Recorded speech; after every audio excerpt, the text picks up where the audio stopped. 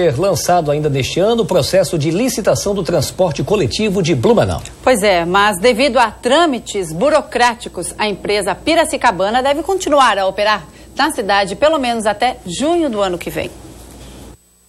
O anúncio foi feito em uma coletiva de imprensa. Depois de várias reuniões e alterações no documento, o Tribunal de Contas do Estado liberou a Prefeitura para fazer a nova licitação do transporte coletivo. A expectativa é lançar o documento até o dia 16 de dezembro, antes do recesso da Prefeitura. Os interessados vão precisar seguir uma série de recomendações. Qualquer empresa que atenda os requisitos editalícios pode se candidatar. É, qualquer empresa que atenda, que tenha as certidões negativas, como determina a lei de licitações, que tenha um patrimônio adequado para fazer a operação em Blumenau, que traga segurança econômica e financeira para a operação, hein, ou, e também qualquer empresa que não tenha nenhuma outra forma de restrição. Tem que ter um lucro líquido de pelo menos 27 milhões. Tem que ter, na realidade, um patrimônio né, inicial nesse sentido.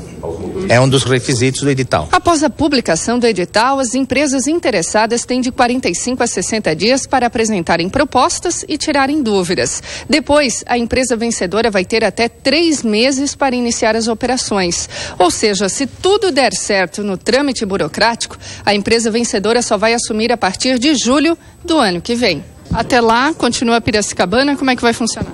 A princípio, continua Piracicabana, é evidente que nós teremos que passar por um processo de renovação do contrato emergencial, não? mas eu creio que a situação deverá permanecer. De acordo com o prefeito, com a nova empresa vão ser feitas mudanças significativas no transporte coletivo. Quem vai vencer a licitação é quem apresentar as exigências que o contrato prevê, 40% de frota nova na largada, cerca de 100 ônibus zero quilômetro já no início da nova operação, até três anos para renovação total da frota, sistema de monitoramento por GPS de todas as linhas, de todos os horários, para que o sistema seja o mais confiável possível. Então, as empresas que preencherem todos esses requisitos de qualidade, de conforto para os usuários, elas vão disputar na questão do preço da passagem. Quem apresentar o menor preço da passagem como proposta para oferecer o serviço, essa empresa vai vencer a licitação.